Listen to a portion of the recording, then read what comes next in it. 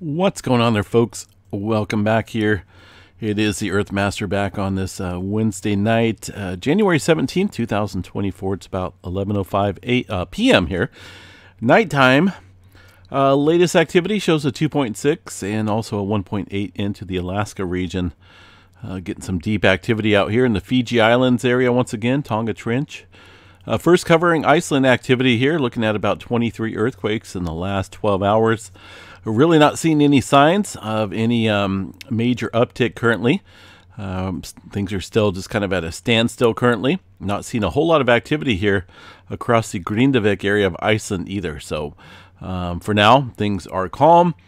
Although the GPS uh, activity out here continues to rise in terms of inflation out here, still seeing that little, little movement here in the upwards trend. So we'll continue to watch that and check back on any major changes. Uh, let's check out the latest information here from the USGS.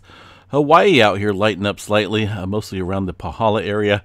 Not a whole lot here across the region of the Big Island or the uh, Kilauea volcano, but uh, continuing to watch that as well. That is one of the volcanoes that is currently experiencing a, uh, a large inflation event there.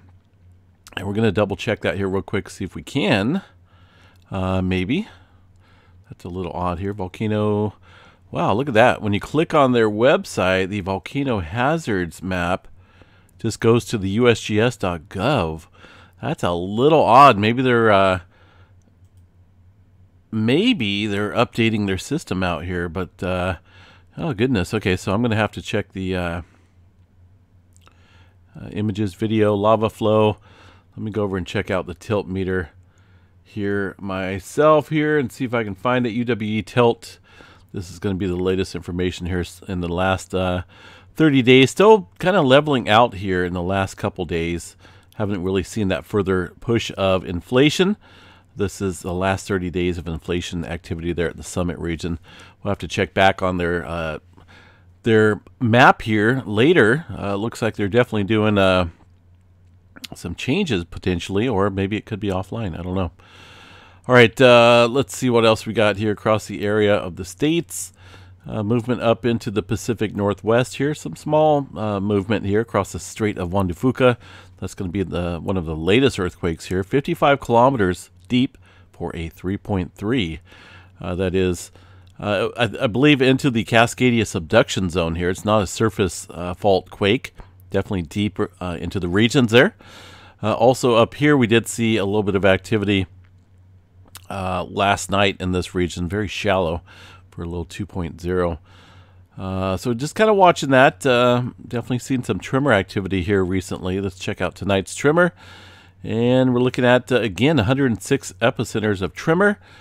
There underneath the Olympia area, the last week or so, most of the tremor has been confined to that area. Not a large event, but uh, roughly about 385 epicenters of tremor. Again, mostly underneath this area of Washington.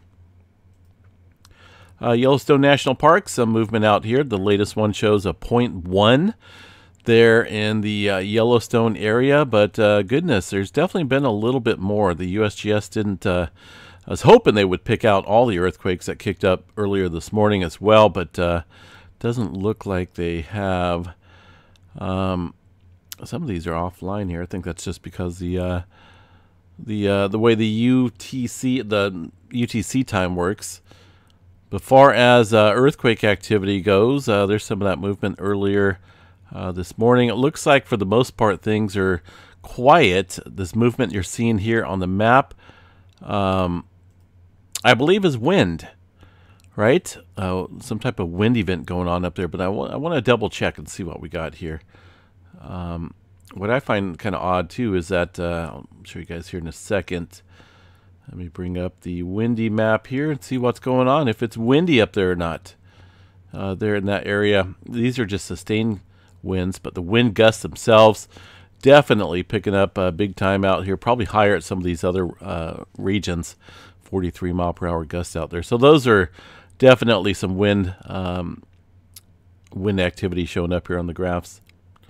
I was going to say uh, this station right here, Norris Museum, is supposed to be sheltered, but it looks like that's picking up some noise as well from the wind. All right, uh, what else we got here for California? Not looking at anything major going on here. Very minimal movement, uh, to say the least. Just general microquake activity out here. Getting a handful of quakes out in this little zone here east of the San Andreas Fault, but for the most part, things are uh, fairly quiet out there. All right, uh, here's the deeper activity triggering down here uh, into the Tonga Trench. The latest one, though, shows a 4.8, 558 kilometers deep. Um, 5.8 uh, coming in here a couple hours ago. That was a little bit further upstream from that deeper activity. So it looks like things may want to move here across this area. Uh, the surface regions there, we'll watch pretty closely. Um, 5.8, decent size earthquake, right? but this area could no doubt see uh, some much larger movement. Way over here on the opposite side of the globe, 5.3 into the South Sandwich Islands there. Uh, fairly recent earthquake. The USGS is reporting up on this earthquake. Uh, they're about 54 kilometers deep, uh, just a couple hours or so ago. Uh, another odd quake out here. Goodness, we're getting these odd ones, uh, these intraplate earthquakes. 5.1 away from the plate boundary. Uh, if I remember right, about a week or so ago, I think we've seen another earthquake in this region. Maybe it's been over that. Let me see here. 30 days. Has it been over 30 days? Oh, is it right over here? That's right. So this odd earthquake, uh, kicking back up on the 10th, 5.2, uh, ways away from the uh, plate boundary. This one here is uh, in, in, another odd spot away from the plate boundary. So um, not for sure um, what's going on out there, but historical data tells us that there's not a whole lot of earthquake activity out there. Most of the the uh, earthquakes occur along the plate boundaries and the subsequent faults, but specifically out here in this zone, well, maybe down south here, 100 miles or so, but uh, a little bit of odd activity working its way there into the um, the Nazca plate. It's going to be this plate right here. So just keep an eye on that. Uh, aside from that, getting some clustering going on once again. Fairly decent amount here. Uh, there across the Indonesia Islands area and the Java Trench. See what we got uh, here today. Mostly fours and some threes stirring up here across this area. Um, I'm just noticing South America pick up here uh, in the last couple hours. 4.0 and some other movement here following this activity. I don't know if this would play a part on the movement over here. In general, though, uh, what goes on here across the plate boundary does affect the subduction zone over here um, across the area of South America. But uh, I don't know. I guess we'll see what happens here. But for now, 4.0 coming in to the uh, Chile area, it looks like. One earthquake way up north, well north of uh, Greenland. Mediterranean area seeing a handful of earthquakes as well. We'll keep an eye on the rift zones out here, the divergent zones across the um, the ocean plates here, the plate boundary. I think once this kicks back up here again, once we see some further activity, we'll see Iceland kick back up here uh, and possibly resume activity southward. All right, uh, what else do we have? Look at that 4.7. That's just coming in right now. Huh? Oh, within the last hour. Well, let me see here. The USGS reporting it. They are, but it's way up there. Look at that. I can barely see it. It actually won't even let me click on it. oh, goodness. Let me see if I can... Uh... Yeah, see, it's way up there. It will not let me click on it, and uh, it doesn't even show up here on the map.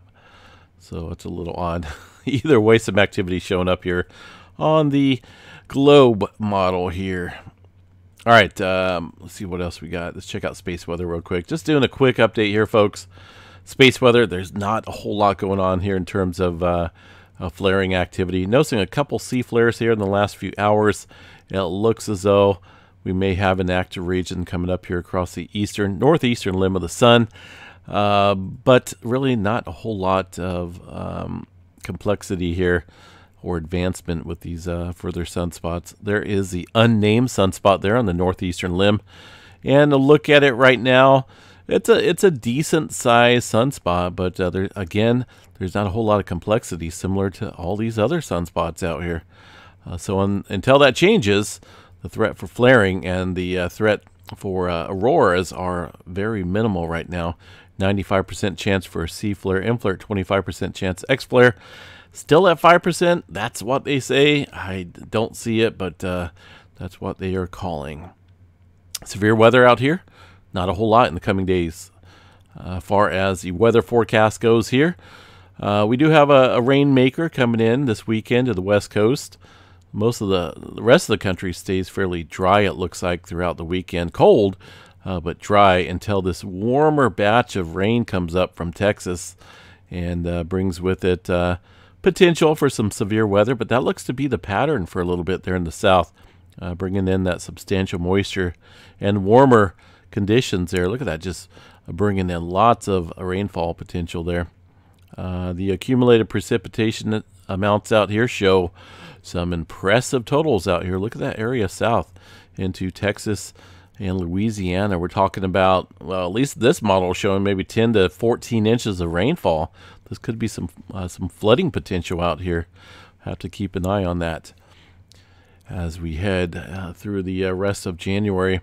Out here in California, uh, let me bring this down a little bit. Most of our storm systems coming up here uh, this weekend supposed to bring a, a decent amount of precipitation. Uh, right around where I live here, in Northern California, just outside of Chico, we should pick up around three inches or so. Less as you head to Sacramento, and even less as you head into the uh, San Joaquin Valley area, Stockton, Modesto area. We'll get uh, probably uh, around an inch and a half or less for that uh, little region down here around San Diego. Looking at some impressive rainfall totals, but uh, either way, at least we're looking at uh, the uh, you know the precipitation accumulation rates going up. That is a good sign. All right, folks, I'm going to back out of here. Have yourself a good day. Uh, yeah. Uh, aside from that, just kind of a waiting game with everything right now. Chilly, there's that four pointer that showed up there just a few minutes ago. I showed you guys on the uh, globe. Small little spike of an earthquake there in Southern California around Barrett. But aside from that, no major earthquake activity taking place here globally for now. Have a good one. We'll catch you guys back out here tomorrow morning. Take care.